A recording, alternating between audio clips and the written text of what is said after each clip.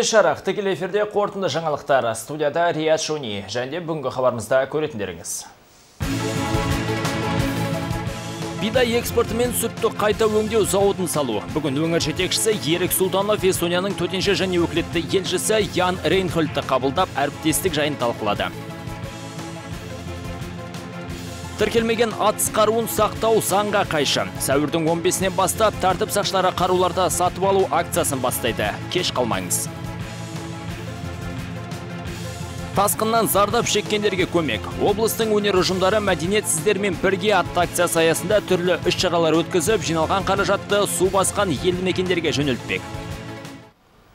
Өңірге Эстония Республикасының Қазақстандағы төтенше және өкілетті елшісі Ян Рейнхальд келді. Облыс әкімі Ерік Сұлтановтан қабылдауында болған мейман ортақ іс ашу жөніндегі бірқатар ұсыныстарын айтты. Жиында екі жақты тиімді әріптестік орнату жайы талқыланды. Әріптесі Мағжан Ахмадина толықтырады. Облыс әкімі Ерік Сұлтанов Эстония Республикасының Қазақстандағы төтенше және өкілетті елшісі Ян Рейнхольдты қабылдап әріптестік орнату жайын талқылады. Вы знаете, что наша область в первую очередь аграрная. Ең алдымен біздің өңір аграрлы өлке. Жыл сайын 4 миллион гектардан астам жерге егін егеміз. Республикадағы астықтың үштен бірін облысымыз береді. Сондықтан осы саланы әрі қарай дамыта түсуді көздейміз. Біз үшін ауыл шаруашылығы өнімдерін қайта өңдеу ісі маңызды. Оны ақпан айында кездескенде айтқан болатынмын. Осы бағытта ортақ іс болады. Тауарды экспорттауда қиындық туындамайды деп ойлаймын. Өңірде ауыл шаруашылығы саласы жақсы дамыған. Әсіресе теріскейліктер көптеген сүт зауыттарымен мақтан алады. Сондайлардың бірін бізде эстондықтарды ашуға ұсыныс білдіріп отыр. Похожие климатические условия. Екі елдің климаты ұқсас, сондықтан ауыл шаруашылығы саласында ортақ іс ашуда бірқатар артықшылықтар бар. Айталық, сүт өнімдерін өңдеу ісін алсақ, ол 4-5 үлкен фермадан құралады. Олардың әрбірі 3300 бас малға шақталатын болады. Жобаны іске асыру бірнеше кезеңмен жүргізіледі. Бізде мұндай тәжірибе бар. Сол себепті, егер ұсыныс қолдау тапса, онда өз технологиямызбен келеміз.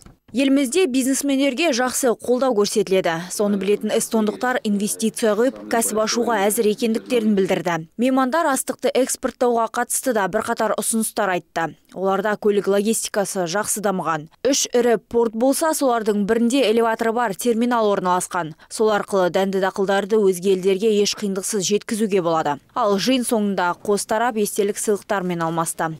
Мағжан Ахмадина, Михаил Казначеев, муниципалдық телеарна. Бүгінде қалалық әкімдіктегі мемлекеттік органдарда мемлекеттік қызметті ұсынуда біраз олқылықтар баршылық. Сәулет және қала құрылысы бөліміндегілер құжаттарды рәсімдеу кезінде бірқатар ережелерді орындамаған. Бөлім мамандары тұрғындардан техникалық регламентте көрсетілмеген құжаттарды сұратқан. Осыған қатысты істер әдеп жөніндегі кеңестің отырысында талқыланды. Әдеп жөніндегі кеңестің үшінші отырысында алдымен шаһар басшысы Марат Тасмағамбетов қала әкімдігінде жемқорлыққа қарсы шаралардың атқарылу барысы жайында баяндады. Қалалық әкімдіктегі бөлімдер тарапынан көрсетілетін мемлекеттік қызметтердің сапасына тоқталды. Государственное учреждение Акимата города оказывает 74 вида Қала әкімдігінде барлығы 74 түрлі мемлекеттік қызмет көрсетіледі. Былтыр азаматтарға 67 600-ден астам қызмет түрлері ұсынылды.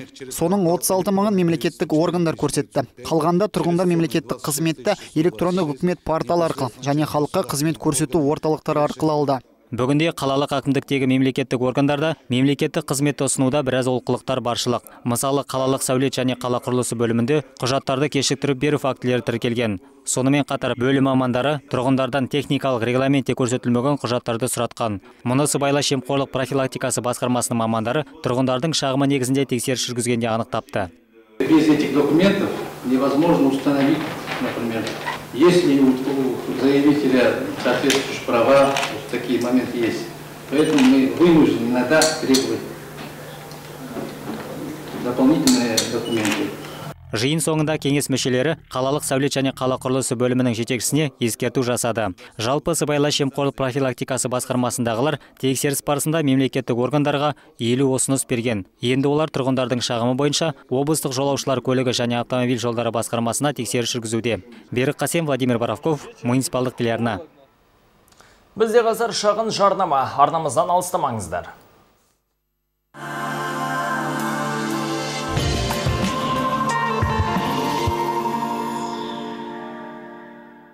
Панацея отбасылық медициналық орталығы.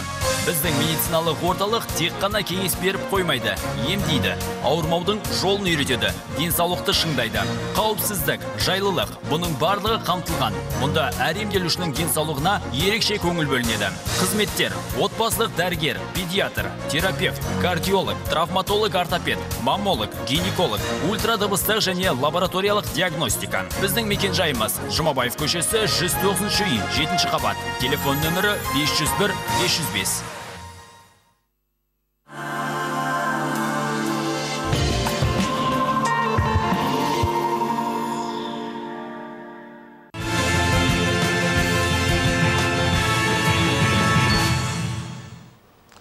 Хабарымызды жалғастырамыз. Бүгінде Сергеев су қоймасындағы су деңгейі төмендеп 866 миллион текше метрді құрап отыр деп мәлімдеді Қазсушар кәсіпорнының мамандары.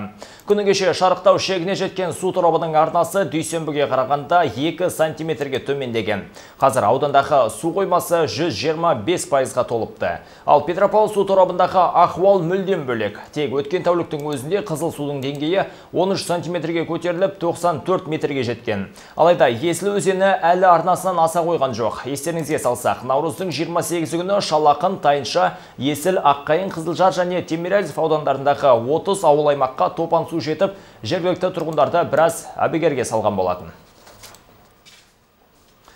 Жыл басынан вокзал аумағында ішкі істер желілік бөлімінің қызметкерлері 1013 әкімшілік құқық бұзушылықты анықтапты. 185 адамға 1 миллион теңгеден астам айыппұл салған. Жалпы тәртіп сақшылары тұрғындарды ұсақ заң бұзушылықтар үшін жазалаған екен. Вокзал аумағы адамдар көп шоғырланатын жерлердің бірі. Сол себепті мұнда тәртіпте жиі бұзылады екен. Жыл басынан Петропавл станциясы ішкі істер желілік бөлімінің қызметкерлері 1013 заң бұзушылықты анықтапты. оның ішінде қоғамдық орындарда ішімдік ішу фактілері бойынша 75 фактісі қоғамдық орындауда ластау ұсақ тәртіпсіздіктер бойынша 37 факті және қоғамдық орындарда шылым шегу бойынша 43 фактісі тіркелді Тәртіп сақшылары жыл басынан 13 адамды әкімшілік қамауға алып, 185 заң бұзушыға 1 миллион 517 мың теңгенің айыппұлын салған. Айта кету қажет, Петропавл станциясы ішкі істер желілік бөлімінің қызметкерлері вокзал аумағында сәуірдің 4 мен 9 аралығында өрмекші жедел алдын алу шарасын өткізіп, героин затымен шамамен 34 жастағы қала тұрғынын қолға түсіріпті. Тінту барысында одан 0 бүтін 134 грамм есірткі тәркіленген.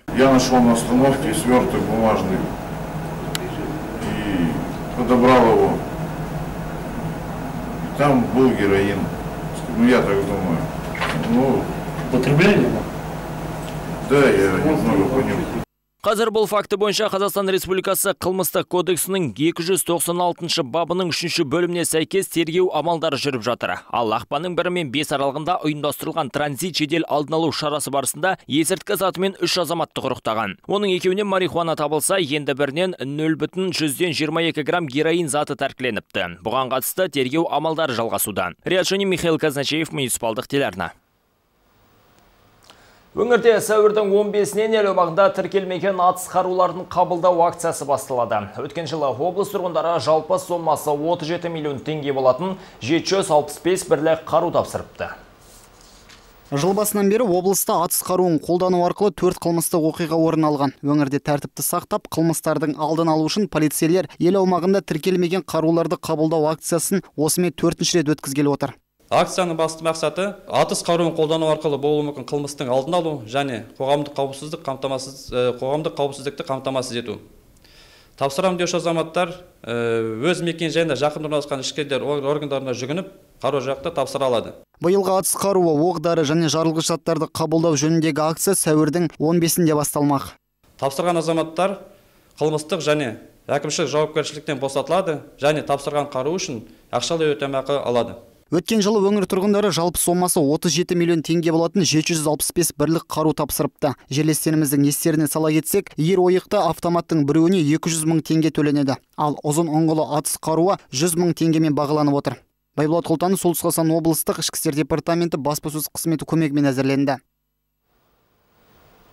Елімізде мемлекеттік қызметтер оңтайландырылып, халыққа қол жетімді бола түсті. Бұдан былай азаматтар түрлі орталықтар мен органдарға барып, уақытын шығындамай, кез келген мемлекеттік қызметтерді бір жерден ала алады.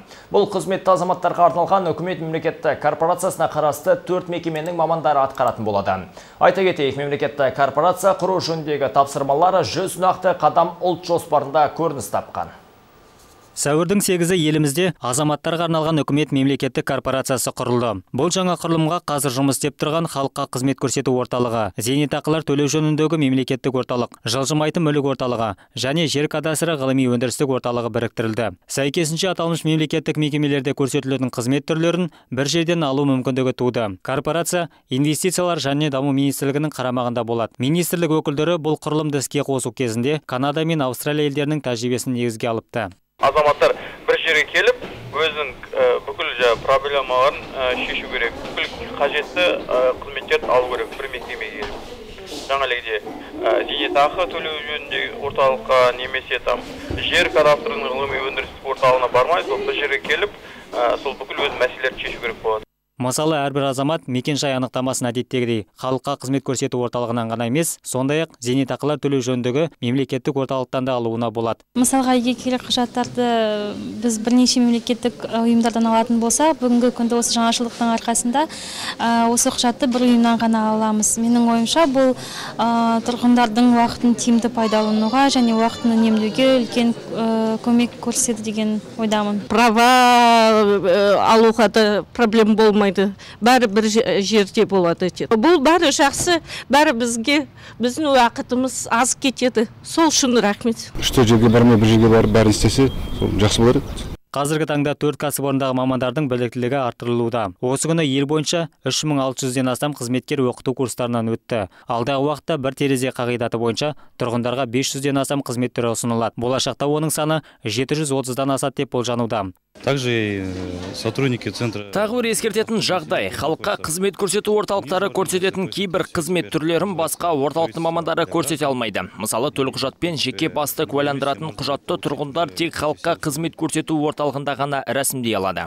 Аймақтар мен аудандардағы мемлекеттік қызметтердің көрсетілу сапасын арнайы қоғамдық кеңес ұдайы бақылауда ұстайды. Істен шикілік шықса, олқылық жайлы бірден үкіметке хабарланады. Ішкі істер министрлігі, денсаулық сақтау министрлігі, бүкіл әкімдіктер, бүкіл госоргандардың орталық мемлекеттік органдардың қызметтері осы корпорация арқылы көрсетілетін болады. Үкімет қаулысы бойынша реестрде 739 қызмет бар. Сол қызметтерді осы бәрі корпорация арқылы көрсетуге жасау алдағы уақытта бұл жүйе оңтайландырылады. Яғни халыққа қызмет көрсету орталығы зейнетақылар төлеу жөніндегі мемлекеттік орталық жылжымайтын мүлік орталығы және жер кадастры ғылыми өндірістік орталығы бір біріне жақын орналасқан болса мекемелер үлкен бір ғимаратқа топтастырылады. Осылайша нысанның жалдау құнына кететін шығын да біршама қысқармақ. Берік қасен владимир боровков қазыбек арықбаев муниципалдық телеарна. Алтыннан да қымбат уақытты үнемдеп үйден не кеңседен шықпай-ақ электронды түрде мемлекеттік қызметтерді пайдалану. Е лицензиялау сайт арқылы экологиялық және қоршаған ортаға эмиссияға рұқсат беру, тағы қауіпті қалдықтардың паспортын тіркеусінді құжаттарды ала алады. Жыл басталғалы тың жаңашылдықтың артықшылығын табиғатты пайдаланушылардың 90 пайыздан астамы сезініп үлгерген. Экология департаменті үш мемлекеттік қызмет түрін көрсетеді. Ол экологиялық және қоршаған ортаға эмиссияға рұқсат беру, тағы қауіпті қалдықтардың паспортын тіркеу. 2014 жылдан бастап бұл құжаттарды электронды түрде алуға болады.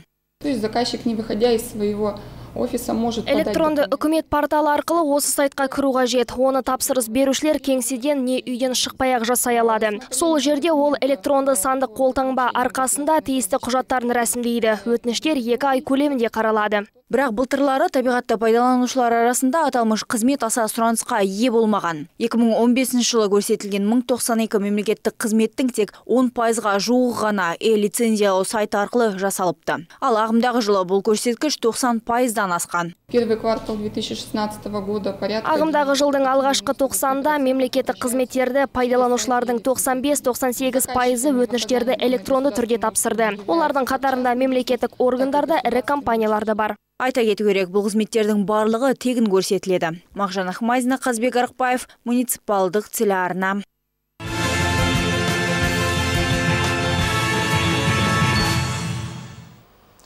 Өңіріміздің мәдениет қызметкерлері қайырымдылық акциясын бастамақ. Солтүстік қазақстандық театр ұжымдары, әншілер мен мұражай қызметкерлері облысымызда түрлі мәдени бағдарламалар ұйымдастырды. Ал шарадан түскен қаражатты су тасқыннан зардап шеккен елді мекендерге жөнелтпек. Айгерім Ержаны толықтырады.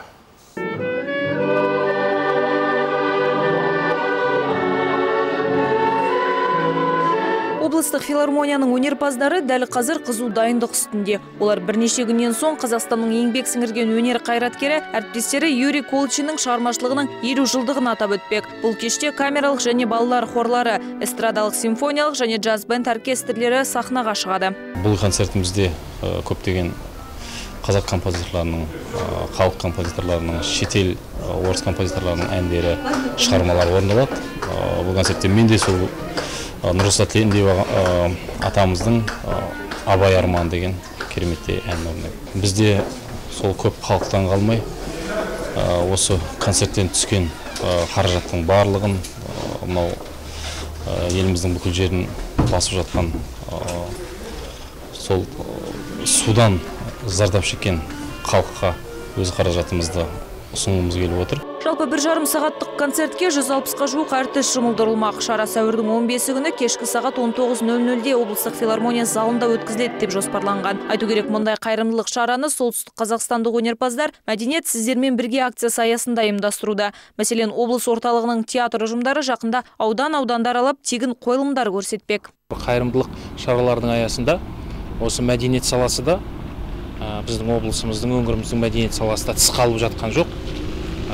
Жиырмасыншы сәуірден бастап осы үстіміздегі айдың жиырмасыншы жұлдызынан бастап мәдениет сіздермен бірге деген акцияны бастап жатыр. Біздің қазақ театры аталған белгіленген аудандарға елді мекендерге барып балаларға мектепке сиқырлы дүрбі деген әдемі әзілі бар ойыны бар үш тілді бағыт бағдары бар. Осындай қойылымды ұсынатын болады. Николай Погодин атындағы орыс драма театры Сұлтан Бейбарыс қойылымын ал облыстық қуыршақ театры Иванушкина Дудочка спектаклін сахналамақ. Бұл игі істен облыс орталығындағы мұражай қызметкерлері де тыс қалған жоқ. Олар жақсылық жаса көрмесі мен қайырымдылық жылы жүректен атты экскурсиясын ұйымдастырмақ. Түскен қаржат су тасқынынан зардап шеккен жерлестерімізге жіберілмек. Айгер Мержанова, Михаил Казначеев, муниципалдық телеарна. 12 сәуір халықаралық ғарышкерлер күні. Бұл күні Петропавлдағы Юрий Гагарин атындағы нөмір 14 орта мектепке 55 жыл толды. Мерекелік кешке аталмыш білім ордасының түлектермен қаламыздың құрметті азаматтар жиналды. Тілшіміз толықтырады. Ғарышкер мен өзге планеталық ару бұл екі персонаж бүгінгі кештің қонақтарын қарсы алуда. Ал көк киім киген стюардессалар оларды экипаждағы орындарына отырғызуда. Барлығынан өмір 14-ші орта мектептің мерейтойын атап өтпек. Айту керек, бұл мекеменің негізінде 250 жылдық тарих бар. Ал ғарышкер Юрий Гагариннің есімі 1961 жылы берілген. Осыған орай білім ордасының ұжымы мен оқушылары мерекелік концерттік бағдарламаны ғарыш тақырыбымен байланыстыруды жөн көріпті. Первое учебное заведение в Ойғалада алғашқы мектеп 1765 жылы ашылған, яғни бұл мектептің екі ғасырдан астам тарихы бар. Ал мектептің мерейтойын біз 12 сәуірде атап өтеміз. Өйткені дәл осы күнде Юрий Гагарин ғарышқа ұшты. Залда жайғасқан қонақтарға мектеп оқушылары би билеп, әдемі ән шырқап көтеріңкі көңіл күй сыйлады.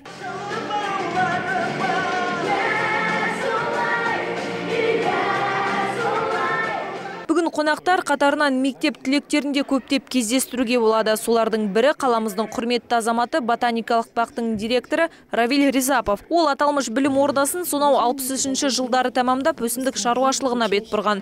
Айту керек, бұл мектепте Ризаповтар әулетінің алты буыны білім алған. Бұл мектепте менің арғы аталарым оқыған. Мен де осы жерде білім алдым. Балаларымды да оқыттым. Бұл мекеменің ұжымына алғысым шексіз. Бізді тәрбиеледі. Ұстаздарымның арқасында міне үлкен жетістіктерге жеттім. Қазір өз шаруашылығым бар. Ал аталмыш білім ордасында оқитын жастар аға буыннан үлгі алып, болашақта еліне пайда келтірер азамат болуды қалайды. Бұл мектепке мен бір жарым жыл бұрын ауыстым. Қазір мектептің вице-президентімін. Міндетім өзіме ұнайды. Ішкі тәртіпті бақылаймыз. Оқушылардың білімін тексеріп, концерттік шараларды ұйымдастыруға аз салсамын. Бүгінде бұл мектепте 35 педагог 342 оқушыны білім нәрімен сусындатуда. Мерекелік кеш барысында аталмыш мектептің ұстаздарына алғыс хаттар мен дипломдар табыс етілді. Айгерім Ержанова, Қазбек Арықбаев, муниципалдық телеарна. Кітап сарқылмас қазына. Петропавлда Алаштың көрнекті қайраткері Жұмағали Тілеулиннің 125 жылығына орай кітап жарық көрді. Жүз данамен басылып шыққан жинақ тарих ғылымдарының кандидаты Сәуле Мәлікованың 10 еңбегі. Бүгін сиясы кетпеген кітаптың тұсаукесеріне өңірдің зиялы қауым өкілдері, оқытушылар мен жастар қатысты. Алаштың көрнекті қайраткері Жұмағали Тілеулин 1890 жылы Айыртау ауданында дүниеге келген. 20 ғасырдағы қазақтың арда азаматы білім, денсаулық сақтау салаларын өркендетуге үлесін қосқан. Жерлесіміз әр жылдары лауазымды қызметтерді атқарып, халықтың мұңын мұңдап, жоғын жоқтаған. Бүгін қоғам қайраткерінің 125 жылдығына тату ретінде облыстық мұрағатта Жұмағали Тілеулин атты кітап көпшілікке таныстырылуда. Туынды авторы Сәуле Мәлікова кезекті жинағында баспа беттерінің ешбірінде кездеспеген мәліметтер келтірілгендігін айтады. Құжаттар омбы тарихы архивінен орталық республикалық архивтен сосын бүгінгі күні ә, саяси тұтқынға ұшырағандардың құжаттары кезінде кнб ның құжаттары болатын. Осы кітабымыз келешекке ә, осындай дара тұлға жұмағалидың орнын айтып оның қызметін жастарға үлгі етіп көрсетуге бастамалардың бірі болады ғой деп ойлаймын. Туындының тұсаукесеріне жергілікті орта және жоғары оқу орындарының студенттері де қатысуда. Манаш қозыбаев атындағы солтүстік қазақстан мемлекеттік университетінде тарих мамандығын меңгеріп жүрген саягүл жәкежан биыл оқуын тәмамдайды. Бойжеткен дипломдық жұмысын толықтыру кезінде кітаптың көп көмегі тиеріне сенімді. Оны көп адамдар жазып кеткен жоқ. Мысалы қайролла мұқановтың кітабынан алсақ та деректерінде ақбаевтың кітабынан алсақ та барлығы осы мәліметтер бойынша менің диплом дипломдық жұмысыма дегенге үлкен бір әсерін тигізді. Әлі де мәліметтер жетпей жатыр менің дипломдық жұмысыма қатысты. Сондықтан да осы кітапты мен өзімнің дипломдық жұмысыма қосам деп ойлаймын. Кітап 278 беттен тұрады, 100 данамен жарық көріп отыр. Енді бұл еңбек облыс аудандары мен қаладағы кітапханалардың оқырмандарына жол тартпақ. Бақытсат Бақас, Владимир Боровков, муниципалдық телеарна.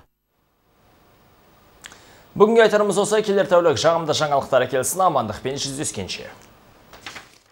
Ауа райының демеушісі Аквафор, суға арналған сүзгілер.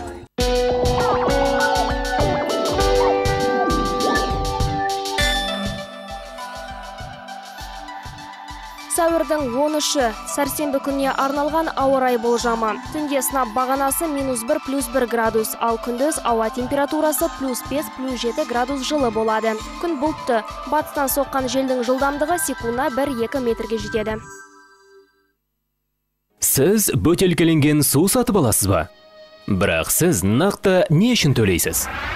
Ауыз суды зауыттарда өндіреді. Бірінші ол құмнан, тұнбалардан, механикалық ластанулардан және ерген заттардан тазартылады. Одан кейін суды кері астматикалық мембранамен тазартып, минералдайды.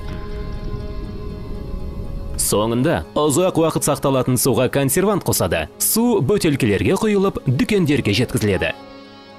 Мұндай су таза, бірақ өте қымбат. Оны 10 есе арзан бағаға алуға болады ма? Болады. Ол үшін су тазалайтын зауытты сіздің ас үйіңізге орнату қажет. Енді бұл мүмкін. Тансыңыздар, Аквафор Марион бұл таза, жұмсақ, премиум класты ауыз судың тура сіздің үйіңіздегі шағын зауыты. Аквафор Марион су тазалаудың зауыттық технологиясын толықтай қайталайды. Бірінші және екінші кезеңдерде су механикалық қоспалардан тазартылады. Үшінші кезеңде керасматикалық мембрана барлық қауіпті ластануларды толықтай жояды. Су жұмсара түседі және сіз енді ешқашан шайнекте тат көрмейтін боласыз. Төртінші кезеңде су магний ионымен екі есе байытылады. Аквафор Марион суды бөтелкеленген судың үздік маркалары деңгейінде жасайды. Тіпті олардан да асып түседі қарапайым жүйелермен салыстырғанда аквафор марион ас үйде үш есе аз орын алады. Суды үш есе жылдамырақ тазартады. Жылына тоғыз тоннаға дейін су үнемдейді. Модульдердің қызмет мерзімі екі есе көп. Ал қызмет көрсетуге жұмсалатын қаражат қарапайым жүйелермен салыстырғанда екі есеге аз. Сізде әрдайым таза және пайдалы ауыз су болады. Аквафор марион премиум класты ауыз су сіздің үйіңізде.